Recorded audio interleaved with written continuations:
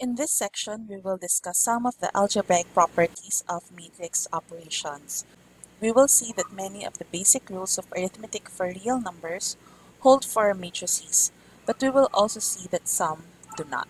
Here are some of the algebraic properties of matrix operations that are also true for real numbers. First, we have the commutativity. This is saying that if we add two matrices, the order does not matter. Second, matrix addition is also associative, meaning to say it doesn't matter where you start your addition, you will still get the same answer.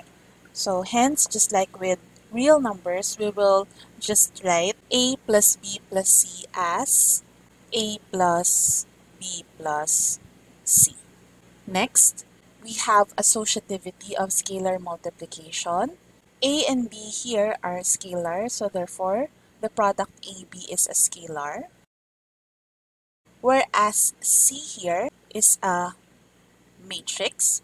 This is the same as having the matrix BC. This is a matrix, right? Because B is a scalar and C is a matrix.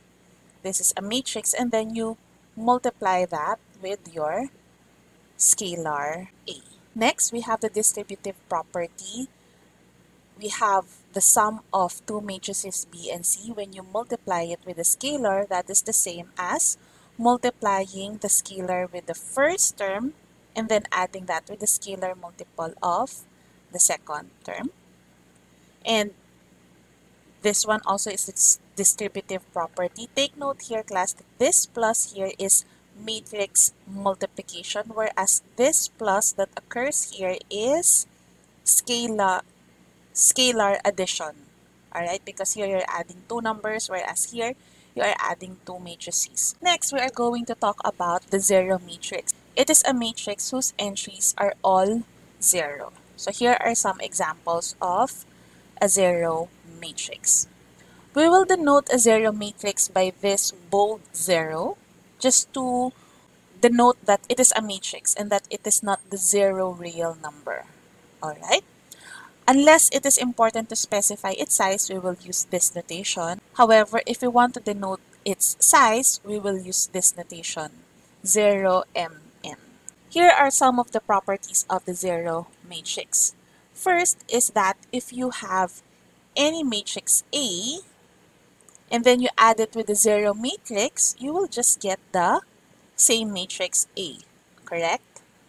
And A, when you add it with its negative, of course, you will get the zero matrix. And lastly, the zero, this is the scalar zero, whereas this is the zero matrix. The zero scalar multiplied with your matrix A, of course, will give you the zero matrix. Take note that these ones have their counterparts in real numbers. Take note that if A is a real number, we know that the number A plus 0 is equal to A.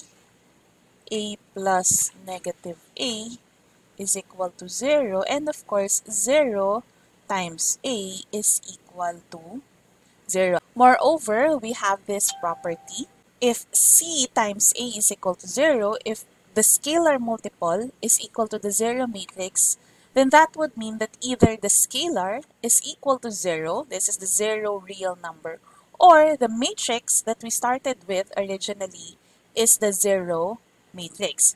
Again, this one has a counterpart for real numbers, correct? Because for real numbers, if we have C times A is equal to 0, then C is equal to 0 or A is equal to 0. For real numbers, if the product of two numbers is equal to 0, that means that one of them, at least one of them, must be equal to 0. Let us look at the properties of matrix multiplication. First, matrix multiplication is also associative. Next, this is matrix addition, this is matrix multiplication. matrix multiplication is distributive over matrix addition. And this one also, just the same. Next, here, it doesn't matter where the parentheses are. You can simply pull out the scalar. Take note also that these properties here have their corresponding real number versions. Let us verify that matrix multiplication is indeed associative. Let us compute A times quantity B times C. First, let us compute for BC. BC is equal to negative 1 times 3, negative 3 plus 1 times 1, so that's negative 2. For the 2, 1, and 3, this times this, second row times first column is 0 times 3 plus 2 times 1 is 2. We now multiply this value that we obtained by A on the left. This is equal to first row times first column is negative 2. 2 plus 2 is 4. Next, let us compute. Next, let us compute for AB first. AB is equal to, for the 1, 1, and 3, first row times first column, we get negative 1. 1, 2, and 3 is first row times second column, we get 1. 2, 1, and 3 is second row times first column, and that is 1. 2, 2, and 3 is second row times second column is negative 1 plus 2 is 1. We now multiply this with C and this is equal to first row times this column is negative 3 plus 1 is negative 2 and then this row times this column is 3 plus 1 is 4. Correct. They are equal, which should be the case. One property of real numbers which is not true for matrices is that matrix multiplication is not commutative. For real numbers, we know that the product AB is always equal to BA. The order does not matter for real numbers. However, for matrices, it is possible that the product AB is not the same as BA. When will this happen? First, AB may be defined and BA may not. Let's say A is 2 by 3 and B is 3 by 1. So therefore, AB is defined. AB will be a 2 by 1 matrix. However, for BA, BA is not defined because B is 3 by 1, whereas A is 2 by 3. These values here are not the same. So therefore, BA is not defined. Next, it's possible that A, B, and BA may be both defined, but they may have different sizes. When will that happen? Suppose A is 2 by 3 and B is 3 by 2. If that is the case, AB would have size 2 by 2. However, for BA, we have 3 by 2 multiplied with a 2 by 3 matrix and that means BA is of size 3 by 3. Just by looking at the sizes, AB and BA cannot be equal because they have different sizes. And lastly, AB and BA may both be defined and have the same size, but the two products may still be different. We are going to see an example of this in the next slide. Let us verify that AB and BA are not equal for these two matrices. First, let us compute the product AB. The 1, 1, and 3 is negative 1 times 2 plus 3 times 0, that's negative 2. The 1, 2, and 3 is 1 first row times second column, that is 1 plus 6, that's 8. Next, the 2, 1, and 3 is 2 times 2 plus negative 1 times 0, that is 4. And lastly, the 2, 2, and 3 is second row times second column, so that's negative 2 plus negative 2. That's negative 4. Let's look at BA. For BA, we have 2 times negative 1 is negative 2 plus negative 2 is negative 4. Actually, if we stop here, we can now say that AB and BA are not the same because their 1, 1 entries are not equal. However, let us still complete the entries of BA. The 2, 1 entry is 2 times 3 is 6 plus 1, that is 7. And then the 2, 1, entry is 4. This is negative 2. So indeed, AB is not equal to BA. Here is an example of two matrices where the products AB is the same as AC but B is not equal to C. Let us verify that AB is equal to AC. The 1, 1, and 3 is positive 3 plus 6 is 9. 1, 2, and 3 is negative 6 minus 4, that's negative 10. The 2, 1, and 3 is 6 plus 12, 18. And the 2, 2, and 3 is negative 12 minus 8. That is negative 20. And then for AC, the 1, 1, and 3 is negative 3 plus 12 is 9. 1, 2, and 3 is negative 12 plus 2 is negative 10. The 2, 1, and 3 is negative 6 plus 24, that is 18. Then the 2, 2, and 3 is negative 24 plus 4, that's negative 20. Hence, AB is really equal to AC, but B is not the same as C. Another property of real numbers which does not hold for matrices is this property. Recall that for real numbers, if the product of two numbers is equal to 0, then that means at least one of them is equal to 0. For matrices, it is possible that the product AB is equal to 0. However, both A and B are not equal to 0. Let us look at an example. Suppose we have these two matrices A and B. A and B clearly are non-zero. Let us compute the product AB. The 1, 1, and 3 is 0. 2, 1, and 3 is 0 also, right? This times this is 0. And then 2, 2, and 3, you always have a 0.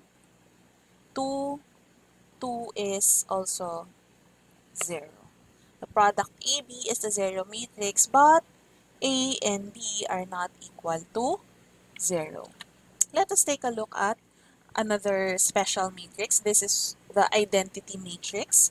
The identity matrix is simply a square matrix with ones on the main diagonal and zeros elsewhere. Meaning to say, you just have, it will look like this. You have ones on the main diagonals and zeros everywhere. Here are some examples of identity matrices. We denote this identity matrix by I3 and this is the identity matrix I2. So in general, if you have a square matrix of size n, or n by n, then the identity matrix is denoted by in. However, if you do not need to denote the size, we simply write it as i. What is the importance of this identity matrix? Let us consider this example. I have here a 2 by 3 matrix and I3. Take note that the product is defined because we have 2 by 3 and this is 3 by 3. So hence the product is a 2 by 3 matrix. Let us look at the first column. Recall that to get the first column, it's just this times this. So what happens is that this multiplied by this, only A11 will be there. And then for the second row, times the first column, we just have A21.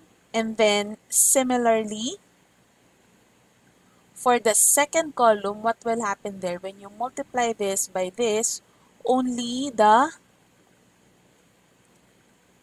second entries will be there. So we have A12 times A22.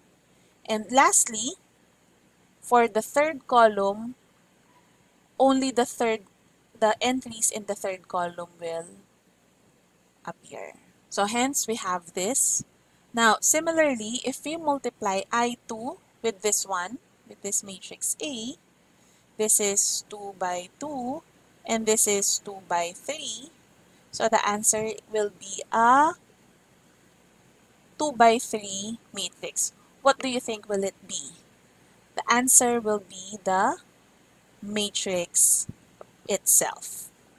What have we seen here? We have seen that A times I3 for this example is equal to A and I2 times A is also equal to A. Now in general, this property is true for any matrices.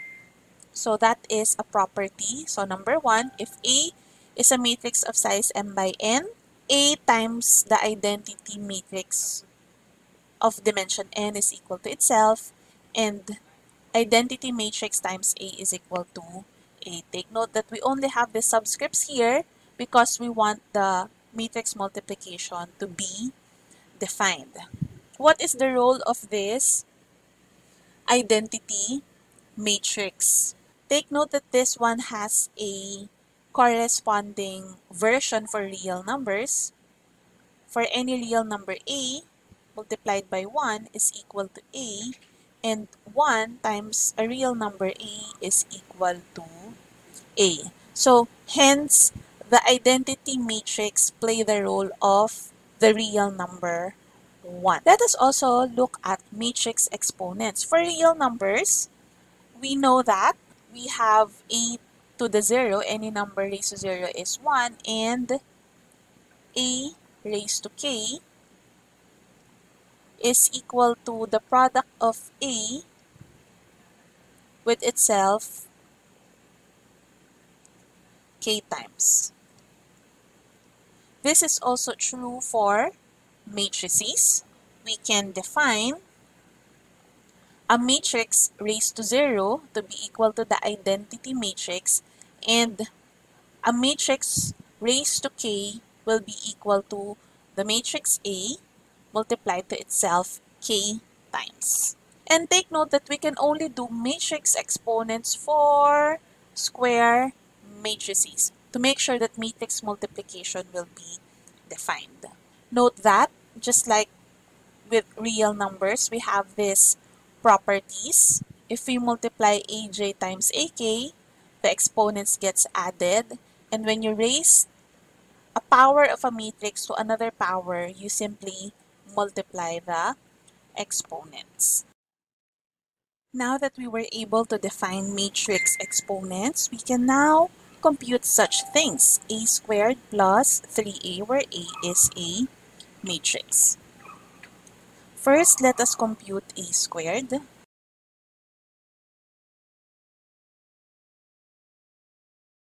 First row times first column is 4 minus 1. That is 3. First row times second column is 2. Second row times first column is negative 2.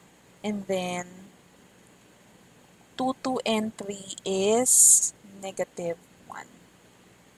Of course, 3a, that's a scalar multiple. We just multiply all the entries by 3. So we get 6, 3, negative 3, 0. Therefore, a squared plus 3a is equal to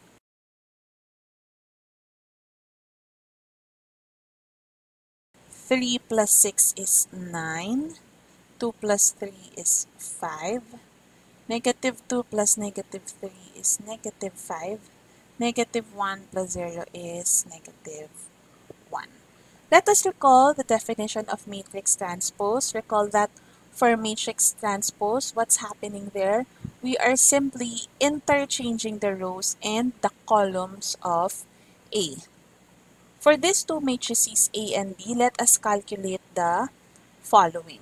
Let's start with the transpose of AB. First, we have AB. Let's compute AB first.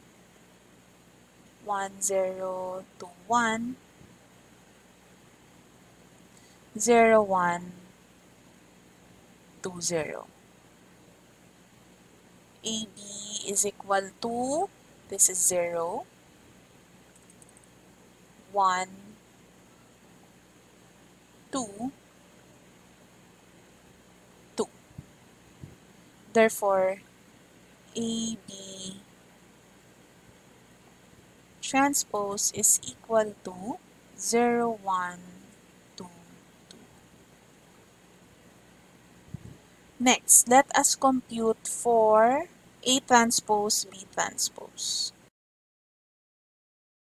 A transpose, B transpose is A transpose is 1, 0 to 1. B transpose is 0, 1 to 0. This is equal to this is 2. We have 2 and then 1 and 0. Lastly, let's compute for B transpose A transpose. B transpose is 0, 1, 2, 0. So we have 0, we have 0 plus 2, that's 2. This is 1. And lastly, we have 2. Observe here that AB transpose is the same as B transpose A transpose. But it is not equal to A transpose B transpose. Now, in general, it is true that the transpose of AB is the same as B transpose A transpose, meaning to say you can distribute the transpose but the order reverses. Understand? You simply cannot distribute the transpose there. You have to change the, you have to reverse the order.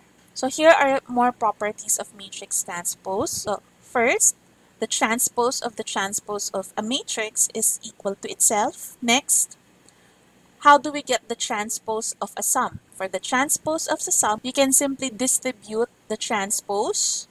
And take note that you can also write this as B transpose A transpose. It doesn't matter because matrix addition is commutative. And then, how do we get the transpose of a scalar multiple? You simply pull out the C, and then you get the transpose of the matrix. Next, this is what we already saw in the previous example. the transpose of a product is equal to the transpose of the factors where the order is reversed. That ends our discussion of matrix operations.